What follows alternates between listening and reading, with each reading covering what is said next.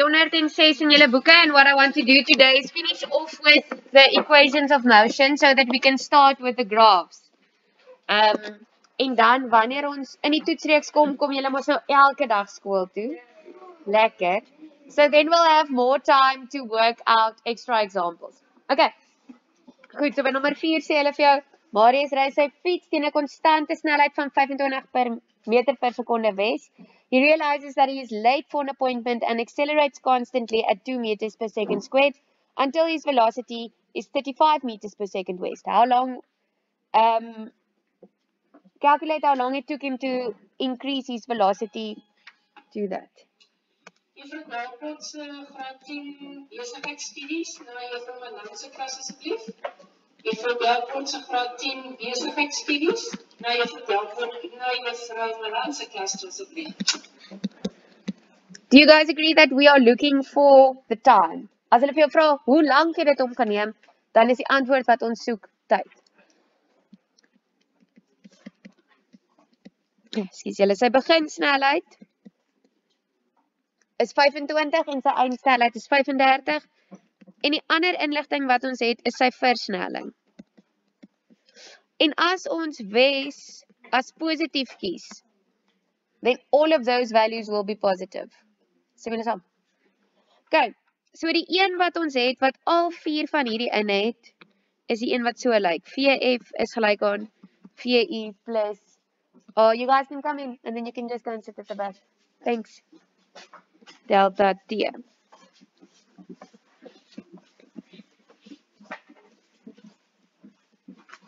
En sien julle al die waardes wat ek instel is positief, né? Nee? So all all of the values are in a western direction, so all of them have the same direction, so I'm picking that direction as positive. En dan kry ons 10 is gelyk aan 2 delta t. In other words, it took him 5 seconds to accelerate from 25 to 35. Het julle reg? Celebrate! Okay. 4.2 sê vir jou calculate the distance that he covered in that time. Now remember, you are allowed to use time now. You are. But there is another one that you can use where you don't use any of the values that you had to calculate. So let's write down what we need. Do you guys agree we need delta x? En dan het ons hierdies.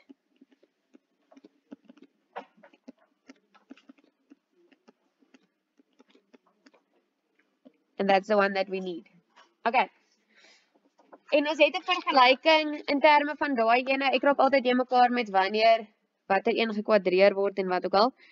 But if you use this one, then you can calculate delta x. Julle reg, verstaan almal hoekom ek daai ene gekies het? Good, good.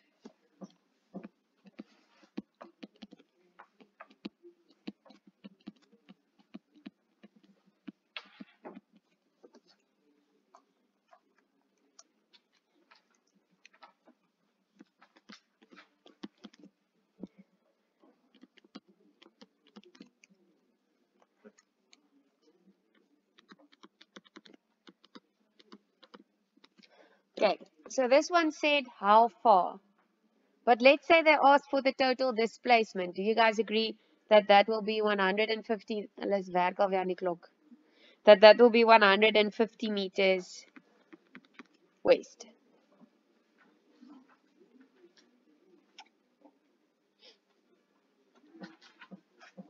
Okay, goed, ek gaan aan met nommer 5. Spider-Man staan op die reling van 'n brug and he has to get away fast. We don't know why, but he has to get away. He sees a truck filled with mattresses about to pass under the bridge and decides to jump from the bridge so that he lands on the mattresses. He steps off the railing before the truck with the mattresses passes underneath the bridge. Ignore air resistance and take gravitational acceleration as 9,8 meters per second downwards. Okay, goed. Kom ons teken dit. Hier's 'n brug. Hier staan Spider-Man. Ons moet Spider-Man in rooi teken. Okay. Daar's Spider-Man En die trok is op pad.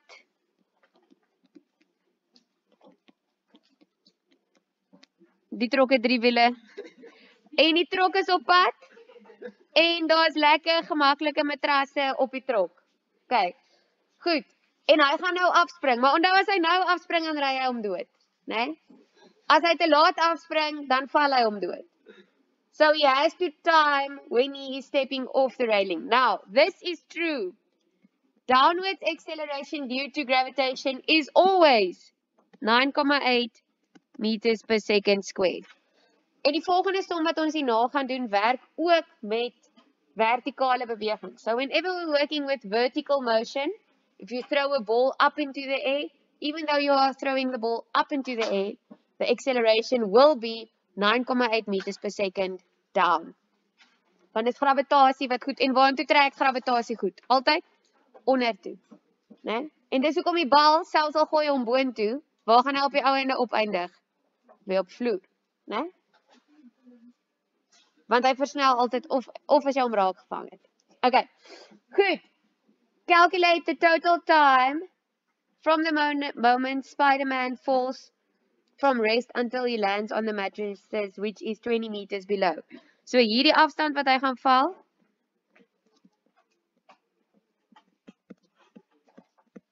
is 20 meter. sien julle ek noem hom nou delta i. Do you guys see that? It doesn't matter if you say delta x. You won't lose marks. Maar die y as loop mos so en die x as loop so. So hoekom ek hom delta i noem. Okay, very important. VI is equal to 0 meters per second. Want soos wat Spider-Man nou daar op die brug staan, staan hy stil. And they are asking for the total time. And we have acceleration. And we have displacement. And do you agree that my acceleration and my displacement will be downwards? Sien julle dit? Né? Nee? Hy val onder toe en hy versnel onder toe. So altyd van les afwaarts. So ek gaan sommer sê choose down as positive. As jy opwaarts as positief gekies het, moes jy al twee jou waardes negatief gemaak het en dan raak dit net ingewikkeld. OK. So, hierdie is die waardes waarmee ons werk. Nou moet nou nie laat daai delta y julle verwar nie. Dis presies dieselfde as delta x. So sien julle ons het 'n vergelyking wat werk met delta y is gelyk aan vi delta t plus daai ene. Almal by.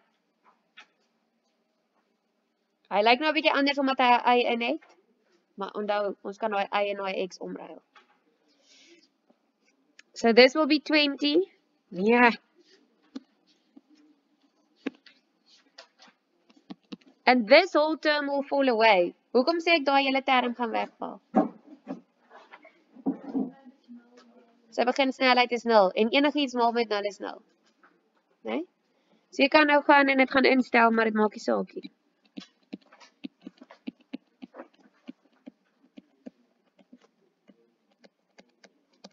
Soos dit.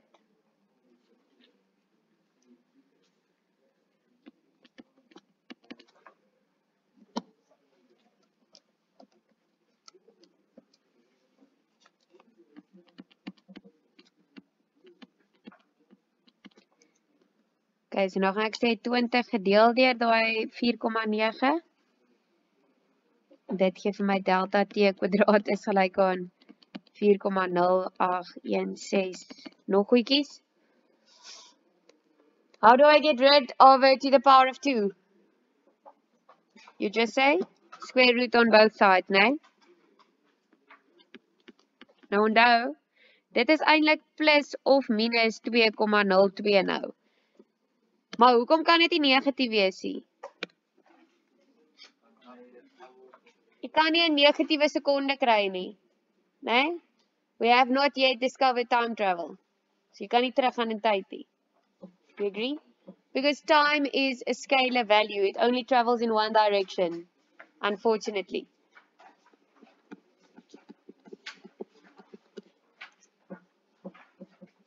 Okay. So vanaf Spider-Man sy voet vorentoe gesit het totdat hy die matrasse tref 20 meter onder hom, vat dit 2,02 sekondes. Hy nee, hy het mooi gekyk. Hy het mooi gekyk. Kyk. Dan by 5,2 sê ag 5,2. 5.2 sê hulle vir jou calculate the velocity at which he hits the matrices. So stem julle saam wat ek nou soek is VF. Né? Nee? Goed. VI het ons as 0.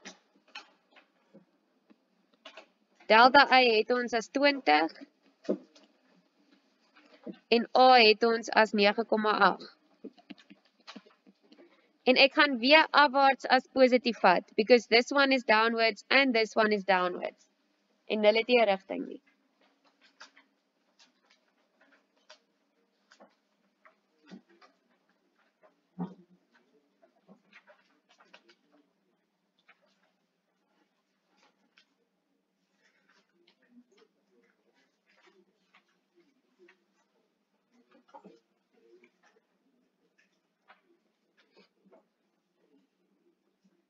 Okay.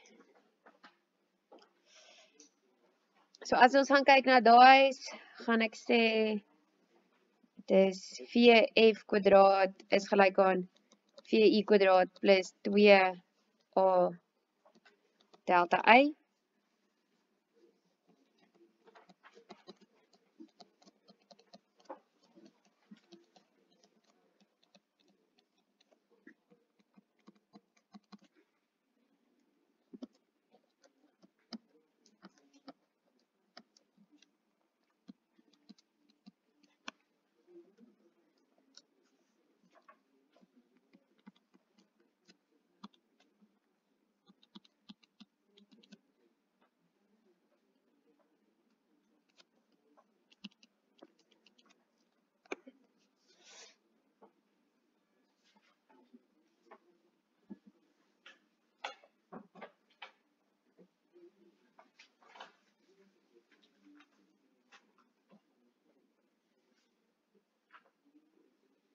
Wat kort ek?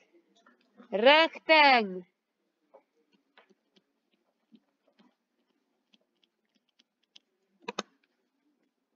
Goed.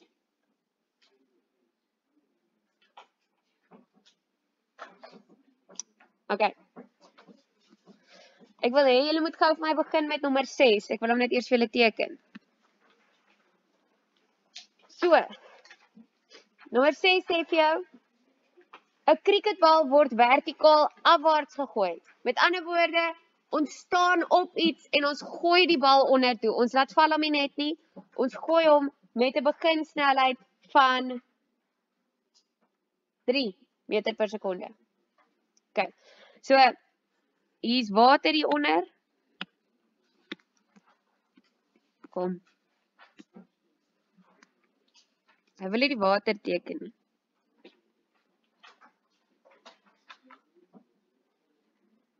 Daar's die water. O, jene. Daar's 'n duikplank. En hier is die bal en hy gooi hom onder toe teen 3 meter per sekonde en hierdie afstand wat die bal val is 3 meter. Almal by. Okay. Dan sê hulle vir jou bereken die snelheid waarmee die water die bal tref. So what do you want to calculate?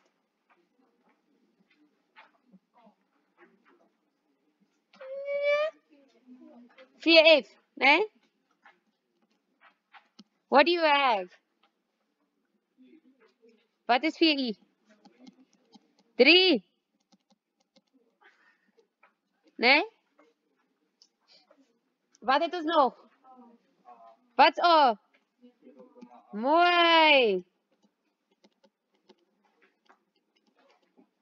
Even though they don't specifically say that, you have to know